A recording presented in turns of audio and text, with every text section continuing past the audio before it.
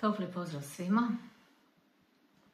Evo, opet mene inspirirala jedna klijentica s jednom temom i odlučila sam malo progovoriti o tome jer to je toliko često i toliko vas to osjeća i ja sam svojedobno, tako da se mogu prepoznati u tome, tako da sam odlučila evo da to bude tema jednog videa.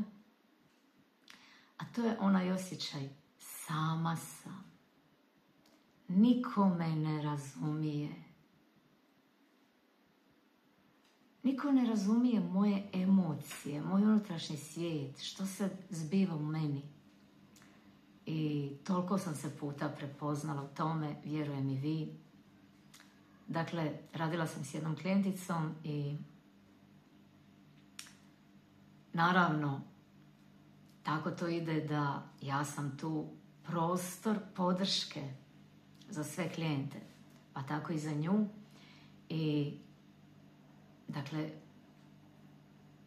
kod mene nema, ne može osjetiti ni osuđivanje, ni prosuđivanje, ni kritiku. Tu sam samo podrška, prisutnost, puna podrške, razumijevanja, prihvaćanja i naravno da onda osjeti da se može otvoriti i da može sve reći nešto što nikome nije i podijeliti nešto najskrivenije, najintimnije, nekako cijelu svoju intimu i unutrašnjost. I onda, nakon što je tako sve to nešto svoje izbacila, emocije i tuge i ovo i ono i sve to nešto, možda nešto što se ne usuđuje drugima reći, jer je ne razumiju, baš je iz nje onako poteklo u jednom trenutku. Jo, Ivana, pa tebi sve mogu reći kako je to lagano i kako je to lijepo kad možeš sve reći. A onda nekako tužno nastavila. Ali ja to nemam kome drugome reći. Niko me ne razumije. I nije istina da nema ljude u svom životu. Naravno da ima, kaže ona, ja imam prijateljice. I ja njima pokušam nešto reći, ali jednostavno ne razumiju. Jednostavno to ne dopire do njih.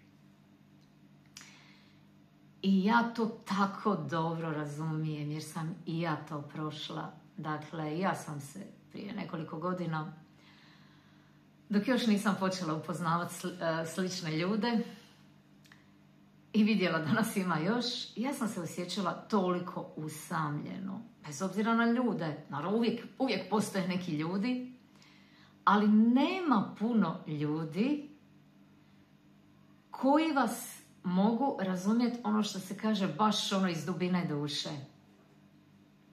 Pogotovo mi koji smo visoko senzibilni, empati, to je jedna posebna kategorija ljudi, mislim da ću morat snimiti video baš o nama, vama, sigurno sam da mnogo vas koji pratite moj kanal spadate u tu skupinu, jer to je tako, slični se slični se privlače i slični se pronalaze.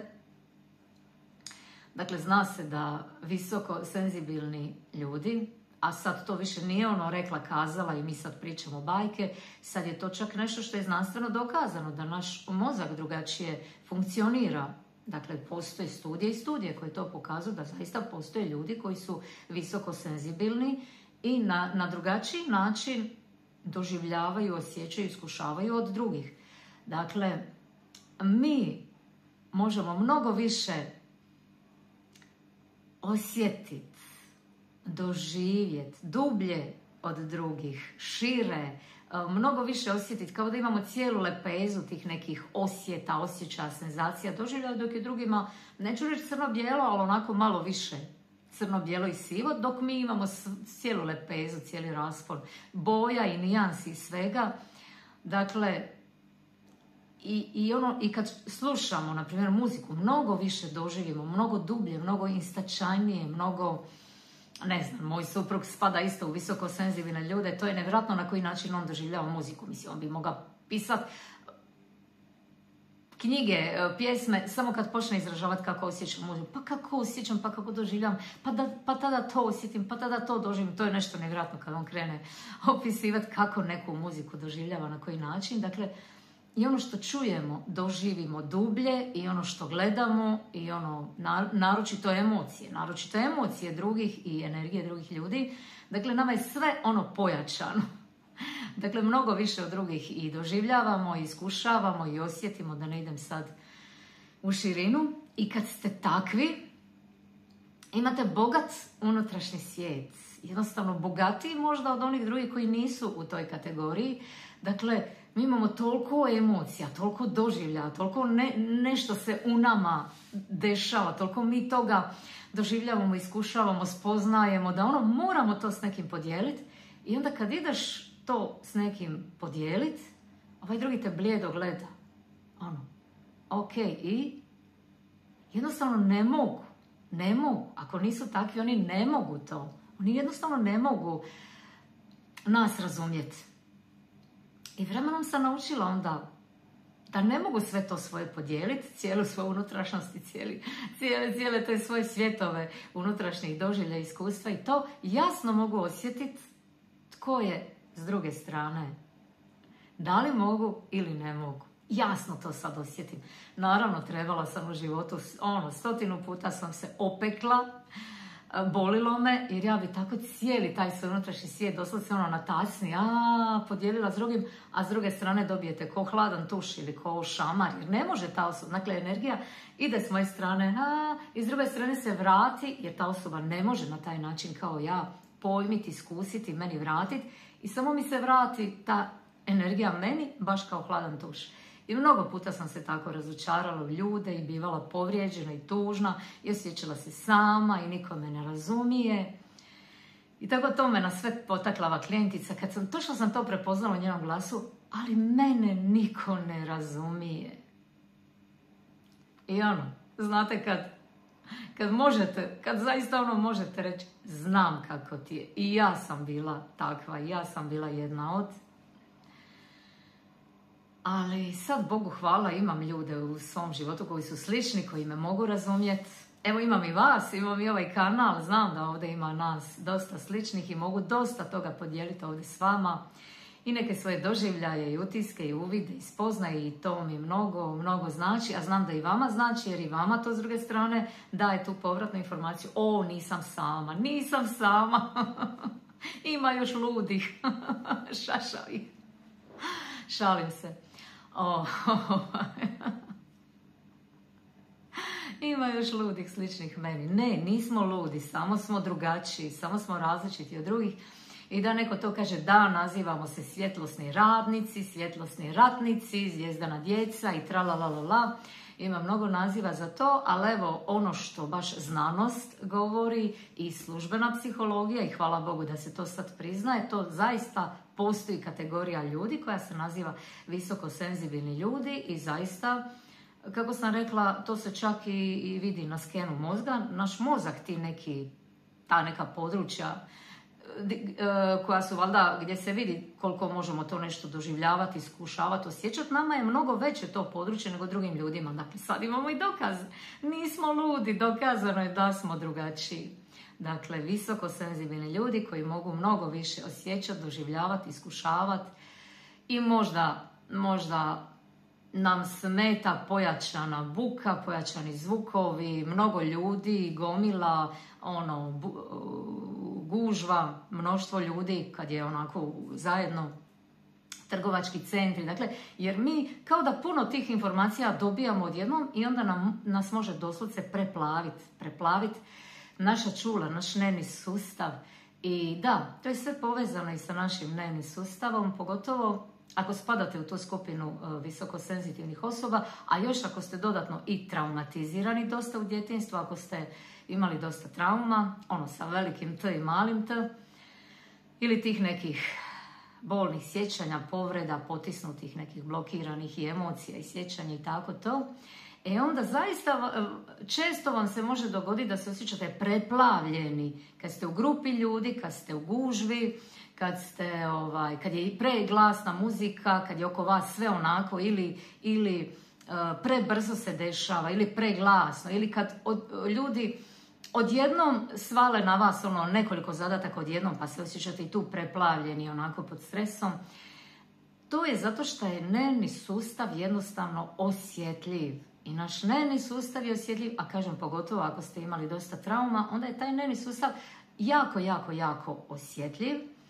I, i ne možete, ne možete ono deset stvari odjednom, ne možete biti u velikim grupama ljudi, u velikim gužvama, u gdje je velika buka i to. Jednostavno se osjećate preplavljeni. I zbog toga je korisno vama, nama, meni, kao što ja to i prakticiram. Dakle, često, često se povlačiti u, u, u svoju samoć, u svoju tišinu. Često biti sama sa sobom, pronalaziti vrijeme za sebe. To nas obnavlja, to nas regenerira. Ali rekla sam, posebno jedan video ću posvetiti tome. Sad bi se ipak željela vratiti na ovo, što me ono baš taknilo u srce. Ono, niko me ne razumije. Ono, kako me ti razumiješ, niko me ne razumije drugi. Dakle, nemojmo okrivljavati te druge ljude koji nas kao ne razumiju. Jednostavno, oni em su možda drugačija vrsta ljudi koji nisu visoko senzibilni, oni nemaju, nemaju takve doživljaje, takva iskustva, njima je sve nekako plošnije, ravnije, pogotovo ako ne rade na sebi, ne mogu, ne mogu nas razumjeti dosta toga što mi želimo podijeliti s njima, a mi bi najradije onako podijelili cijeli svoj unutrašnji svijet, ali to a, a ne nailazi na, na odjek. I zaista se možemo osjećati tako kao da smo sami, ali evo, evo moja poruka svima vama koji se tako osjećate sami i da vas niko ne razumije, niste sami. Postoji još mnogo, mnogo, mnogo, mnogo, mnogo sličnih ljudi, sličnih duša, prekrasnih duša koji su nama slični, koji nas razumiju, koji nas vide, koji nas čuju i ako još nemate takve ljude u svom životu, u svojoj blizini, budite vi ta osoba, ta prekrasna duša koja će vas čut, vidjet, razumjet, prihvaćat. Dakle, budite sami sebi majka ili sami sebi terapeut, pa razumite sebe. U, u, u prvo razumijete da ste takvi, točno takvi kakvi jeste, da nije da nešto s vama nije u redu, nije da, da, da ste pogrešni, jednostavno ste različiti od drugih. A druga stvar, ako idemo sad malo dublje, naravno, u traume i ta traumatična bolna sjećanja, ako je neko zaista imao um, Eh, roditelje koji nisu mogli na pravi način dati ljubav, bezuvjetnu ljubav, koji nisu mogli na pravi način regulirati osjetljiv nervni sustav nas kao malog djeteta, jer oni nisu bili regulirani emocionalno i onda smo, samo smo od njih osjećali isto tako stres i da nas ne vide i da nas ne čuju i da nas ne razumiju jer zaista nisu imali kapacitet za to. I onda pogotovo to mi isto, često, često mi to u tretmanima izlazi, da mi ono odjednom se klijentica rasplače, dodirne znači neku tu svoju traumu i samo izađe iz nje sama sam, sama sam. Dakle, to se može nekad isto tako desiti kad nam neka trauma izlazi na površinu i onda zaista se osjećamo sami. Eto, to trauma čini da se osjećamo sami, jer tada dok se to nešto dešavalo, zato je to i postalo trauma, nije bilo nikoga. Nije bilo nikoga tu da nas ono, razumije, da nas pogladi, da nas voli, da nas prihvati, da kaže tu sam za tebe. Ne mora reći, malo dijete neće ni razumjeti tu sam za tebe, ali energetski tu sam za tebe, sve je u redu. I da pomogne malom djetetu da prođe kroz te svoje emocije izazove kroz ko zna šta je bilo, šta smo prolazili, ali nije bilo nikoga s druge strane i nama je ostalo onda memorirano sama sam. Sama sam dok se to nešto ružno, teško ili nelagodno dešava. Sama sam i nema nikog da mi pomogne. Dakle, jedan dio je da može biti da ste visoko senzibilna osoba, intuitivni empat, pa da se zbog toga osjećate sami jer ste različiti od drugih, niko vas ne razumije. A drugi dio može biti da to neke traume izlaze na površinu i te traume doslovce iz njih progovara sama sam, nikome ne razumijem. Evo i sad prolazim kroz neki izazov, nešto mi je teško, tužna sam i pokušavam to nekome reći, a nikome ne čuje, nikome ne razumije.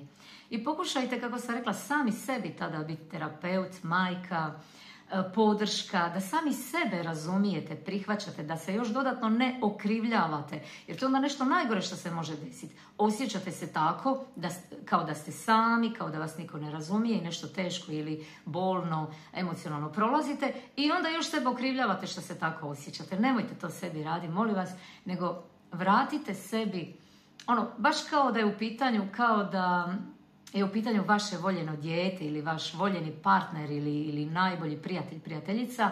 Dakle, imajte razumijevanja za sebe tada u tim trenucima, imajte ljubav, toplinu, razumijevanje, prihvaćanje, podršku i reći, ok, ok, trenutno se tako osjećaš, ok, ali ako se tako osjećaš, to nije i to nije u stvari istina, to nije ona prava istina. Ok, osjećaš se da si sama, da te niko ne razumije, a to nije istina. Uvijek je netko tu. Uvijek je neko tu. Pa ako ništa drugo, uvijek je tu naša duša, više ja, božanski izvor, naši duhovni vidići. Nikad nismo u istinu sami. Uvijek ima tu neko ko će nas razumjeti. Dakle, razumite vi sebe ako baš nemate nikog drugog. Razumite sebe, prihvatite sebe, baš takvi kakvi jeste u ovom trenutku. Najbolji ste što možete biti, najsavršeniji. Čak i kad prolazite kroz nešto, nešto teško, bolno, nemojte sebe kritizirati, razumite, prihvatite. Dajte sebi svu moguću ljubav, prihvaćanje, razumijevanje sebi i recite ja sam tu za tebe. Ja te volim najviše na svijetu. Ja te prihvaćam baš tako kakva jesi. Za mene si najbolja i zajedno smo jače. Zajedno ćemo pobijediti sve izazove i proći kroz sve. I ono, baš se obratite sebi, možete i staviti dlan na srce, jer na taj način prirodno umirujete tijelo, odnosno nervni sustav koji će se uh, odmah umiriti i na tu toplinu vaš, uh, vašeg glasa, vaših riječi, na tu energiju, jednu podržavajuću, jednu ljubav i još dodir, tijelo će se umiriti, um će se umiriti, nervni sustav će se umiriti. Eto, toliko od mene, toliko za danas. Naravno, uvijek to ponavljam, ako baš ne možete sami, ako vas toliko preplavljuje, uvijek se možete javiti. Ja radim jedan na jedan baš na tim stvarima. Tako da, postoje prirodni načini, prirodne tehnike kako se može umiriti nervni sustav, kako se može umiriti tijelo, um, tako da slobodno se javite. Ali dotad sami sebi recite koliko ste prekrasni, koliko ste veličanstveni, koliko ste prekrasni, baš takvi kakvi jeste savršeni, najsavršeniji i recite sebi koliko se volite, prihvaćate i razumite i nećete onda toliko imati potrebu da vas neko drugi razumije i čuje i da imate ne znam koliko ljudi u svom životu, počnite od sebe. Budite sami sebi najbolji prijatelji. Ah, ovo sunce, moja kosa blješti na suncu, sunce osvaja sve više. Ja vas pozdravljam i želim vam svako, svako dobro i da se osjećate uvijek u ljubavi, radosti, lakoći, u samoprihvaćanju i samoljubavi. Vidimo se neki drugi put. Svako dobro želim. Bog!